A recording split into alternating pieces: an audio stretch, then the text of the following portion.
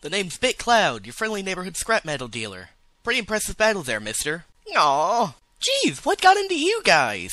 How are you supposed to fight in a battle without any weapons? How's it going, everybody? Responsibility? no thanks, babe. I try to avoid that whenever I can. Liger Zero.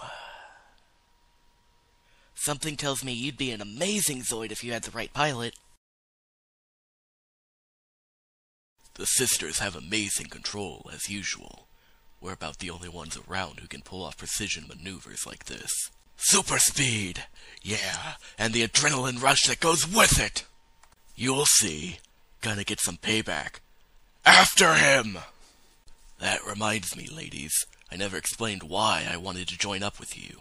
Were you ever gonna ask me? You two have a complete understanding of the Saix's limits, and you can control them perfectly. That's what had me sold. So here I am. You two will nicely complement my own power. Brad, move forward a little more. Leena's right in the line of fire. Lena, you're wasting too many shots. Hold back on the ammo a bit, would ya? Aw, did you hear what she said, Doc? Sure I do, but I'd appreciate it if you didn't call me Jamie from now on. I said knock it off with the Jamie stuff. Who do you people think I am, anyway? I am the Wild Eagle. That's what you can call me from now on.